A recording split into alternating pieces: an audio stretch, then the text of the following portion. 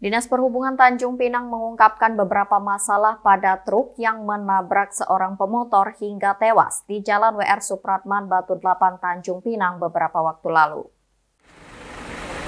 Dari hasil pengecekan di Sub Tanjung Pinang pada plat kendaraan truk BP 9023 UT tidak ditemukan dalam database pengujian KIR.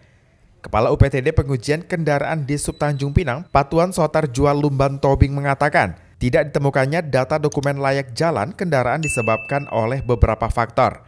Seperti kendaraan tersebut mutasi dari luar kota dan tidak melakukan uji kelayakan kendaraan atau KIR di Tanjung Pinang.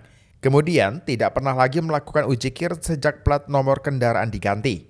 Di Sub Tanjung Pinang berencana akan melakukan razia pada kendaraan layak jalan Pihak perusahaan ataupun pemilik kendaraan juga dihimbau agar dapat melakukan uji KIR. SUP itu itu memang datanya nggak ada di kita di database kita. Hmm. Ada kemungkinan nggak ada itu satu kendaraan itu mungkin dulu mutasi hmm. kemungkinan ya, tapi nggak KIR belum daftar belum daftar sini.